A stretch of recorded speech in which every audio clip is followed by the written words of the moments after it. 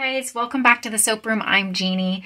Today I'm making another Christmas soap. This is a custom bar, so I'm working out of my little mold again. I'm going to be working with this gingerbread cookie fragrance oil from Brambleberry. It's my first time working with this.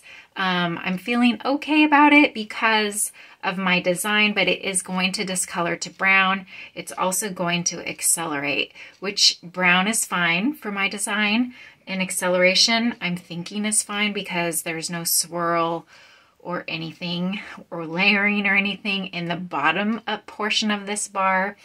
For the top, I'm going to be using titanium dioxide for some piping I'm going to be using the Carolyn Crum 1A tip.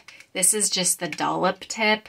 So I'm going to do a dollop um, on the top of this, kind of hopefully like snow covered roof inspiration. And then for the top, with the pipe on top of the piping, I'm going to be using these little gingerbread men on one side of the soap.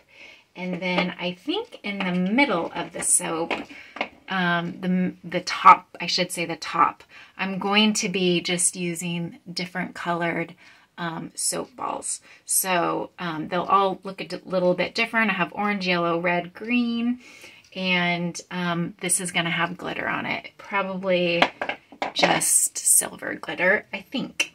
So I'm going to put my gloves on and we will get started.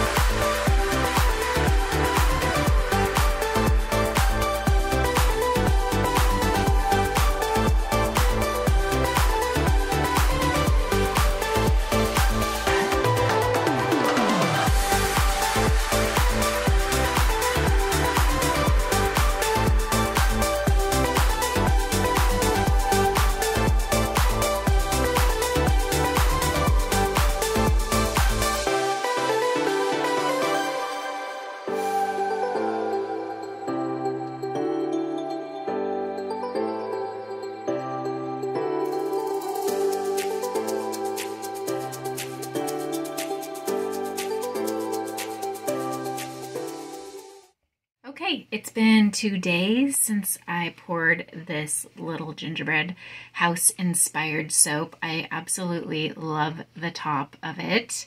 Not going to be much going on on the inside, um, but it'll be cute once it's stamped. It's a shorter bar. These loaves, um, they're thicker than my normal um, I'm sorry, not the loaves, the bars are thicker than my normal um, five pound loaves.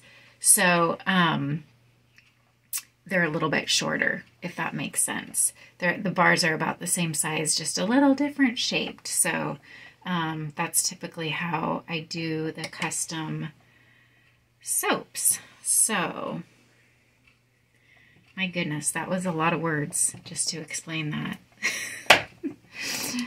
okay, so here is the first one with the little green ball and the gingerbread man. Super cute. I love the fragrance. I will definitely try that one again.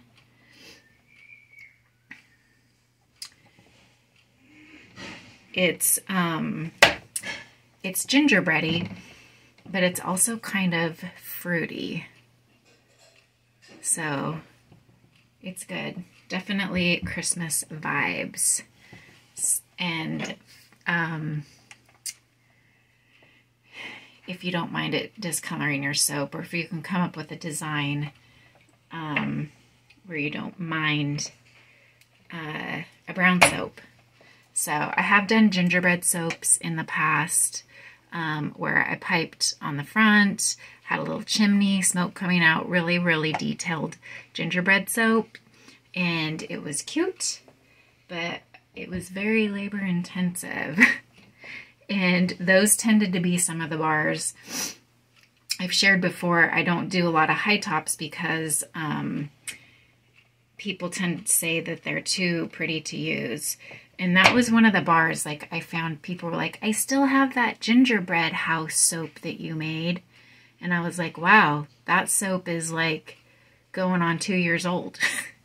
so, and, you know, even like the white piping on the top would start to discolor after some time. So, um, I don't make a lot of those anymore. So these ones are kind of a good, when they're shorter, um, they're okay to be a little bit taller on the top with a few more embeds. So people tend to use those better. All right, guys, I'm going to speed up the rest just because we're kind of boring on the inside. And I just want to thank you for watching. And uh, don't forget to subscribe if you enjoyed this video. And I will see you guys on the next